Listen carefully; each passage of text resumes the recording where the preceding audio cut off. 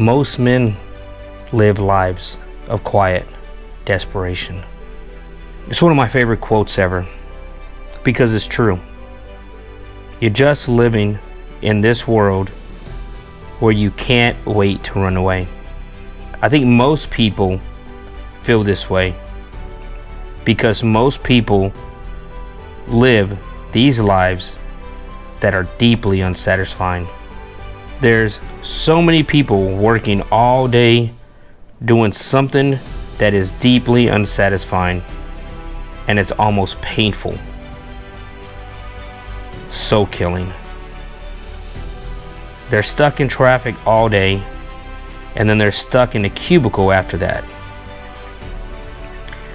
They relish the time to escape via their phone, via social media, to see what's being caught and who's out there on the water.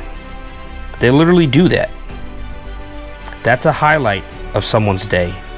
Then they get back in their cars, get stuck in traffic on the way home.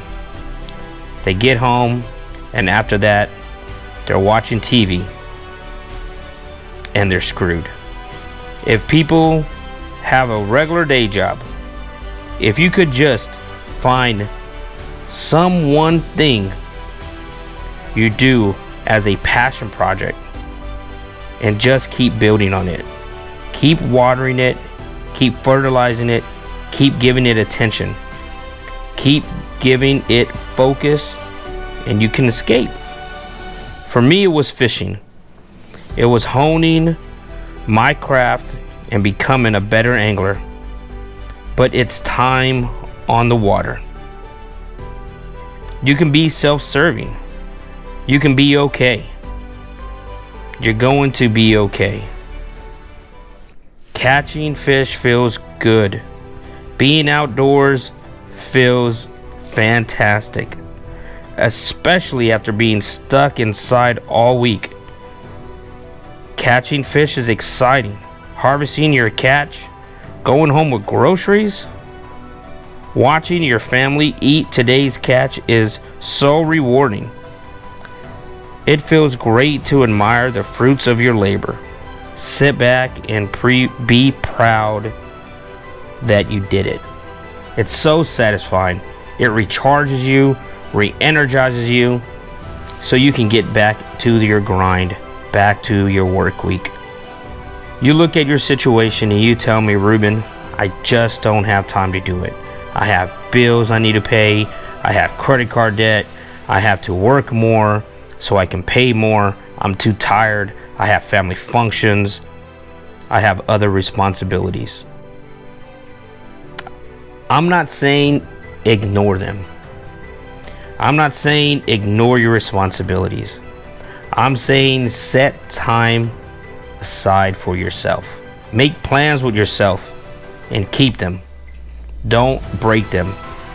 Do it like your life depends on it. Do it like your life depends on it. Because it does. Make a schedule and stick to it.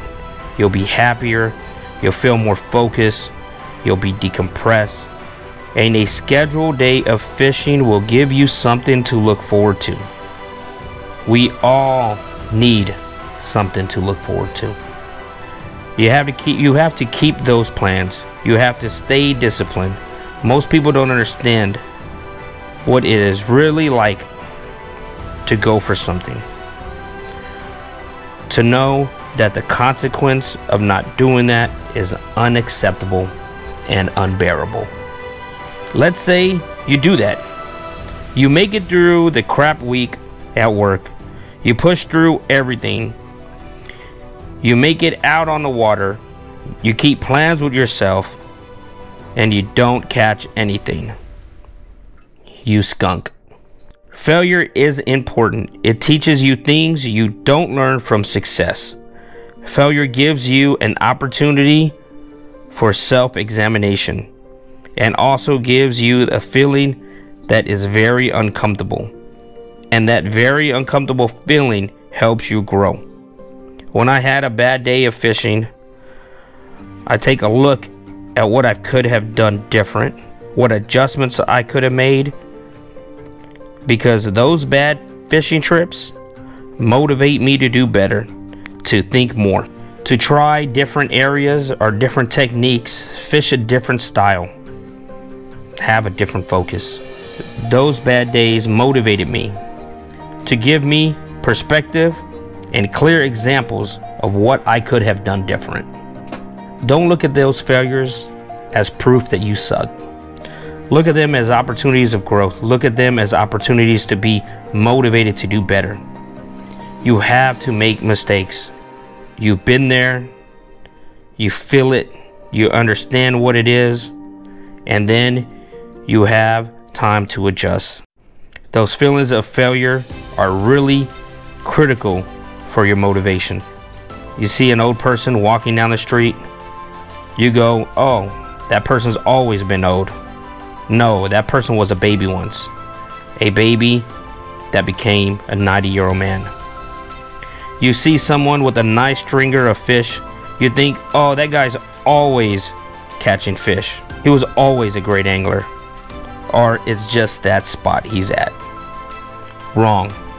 That's time on the water. That's learning an area, learning incoming and outgoing tide, learning what works there and what doesn't work there, which lures to fish under what conditions. There's a progression that you're not witness to. You don't see it. And that takes place in everything. It takes place in people's age, it takes place in an angler, it takes place in guides, it takes place in everything.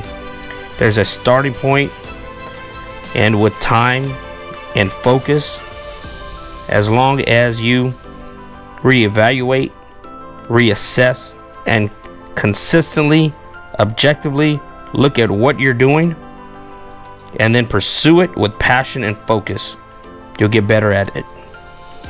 You'll get better at the things you want to accomplish, like becoming a better angler.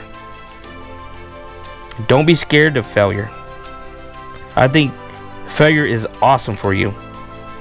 And that's one reason why I like doing things that I suck at. I just feel like people need inspiration, they need guidelines.